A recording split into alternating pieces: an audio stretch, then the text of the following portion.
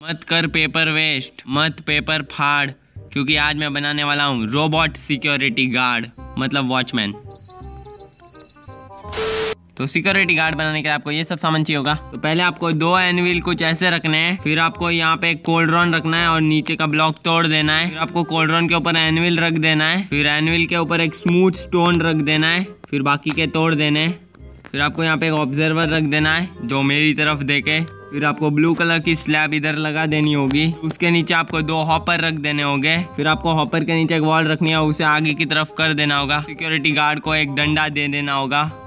और ये वाले हाथ में एक लैम्पटन तो लो, हमारा रोबोट सिक्योरिटी गार्ड बन के तैयार है। अब ये मेरी रक्षा करेगा। मुझको कोई आँच आने नहीं देगा। ऐसा मेरे को लगता है। तो अगर आपको वीडियो पसंद आएगी तो वीडियो को लाइक से सब्सक्राइब कर देना।